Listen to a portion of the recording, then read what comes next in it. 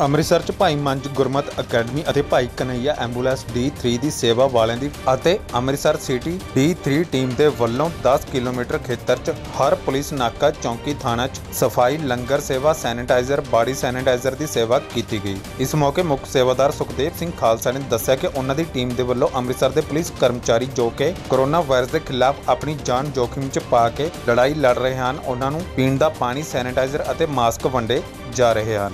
ਜਿਸ ਤੋਂ ਉਹ ਵਾਇਰਸ ਦੇ ਖਿਲਾਫ ਆਪਣੇ ਆਪ ਨੂੰ ਸੁਰੱਖਿਅਤ ਰੱਖ ਸਕਣ। ਦੇਵ ਸਿੰਘ ਆ ਜੀ। ਅਸੀਂ ਭਾਈ Kanhaiya ji ambulance Seva division number 3 first aid post.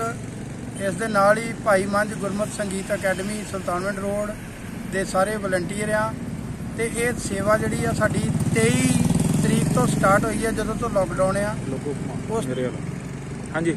ਉਦੋਂ ਤੋਂ ਇਹ ਸੇਵਾ ਜਿਹੜੀ ਆ ਬਿਨਾਂ ਨਾਗਾ ਚੱਲ ਰਹੀ ਆ ਜਿਸ ਦੇ ਤਹਿਤ ਟੋਟਲ ਅੰਮ੍ਰਿਤਸਰ ਸ਼ਹਿਰ ਦੇ 10 ਕਿਲੋਮੀਟਰ ਏਰੀਏ ਦੇ ਜਿੰਨੇ ਵੀ ਮੁਲਾਜ਼ਮ ਵੀਰ ਸੇਵਾ ਕਰ ਰਹੇ ਆ, ਨਾਕੇ ਆ, ਬੈਰੀਅਰ ਆ, ਚਾਹੇ ਉਹ ਗਲੀ ਆ, ਚਾਹੇ ਉਹ ਮੇਨ ਰੋਡ ਆ, ਇਥੋਂ ਅੰਮ੍ਰਿਤਸਰ ਸੁਲਤਾਨਵੰਡ ਰੋਡ ਤੋਂ ਲੈ ਕੇ ਤੇ ਆਪਣਾ ਇੰਡੀਆ ਗੇਟ ਤੱਕ ਸਾਰਾ ਹੀ ਨਾਕੇ ਜਿਹੜੇ ਆ, ਇਹ ਡੇਲੀ ਜਿਹੜੇ ਹੁੰਦੇ ਆ ਸ਼ਹਿਰ ਦੇ 12 ਗੇਟ ਇਹ ਸੇਵਾ ਜਿਹੜੀ ਆ ਸਾਰੀ ਸਾਡੀ ਸਾਰੀ ਟੀਮ ਵੱਲੋਂ ਕਿਸ ਆਪੋ ਚੀਜ਼ ਦੀ ਸੇਵਾ ਕਰ ਰਹੇ ਬਾਬਾ ਜੀ ਤੁਸੀਂ? ਇਹ ਸਾਰੀ ਸੇਵਾ ਜੀ ਸੈਨੀਟਾਈਜ਼ ਦੀ ਜਿਹੜੀ ਆ ਬੋਡੀ ਸਪਰੇਅ ਦੀ ਸੇਵਾ।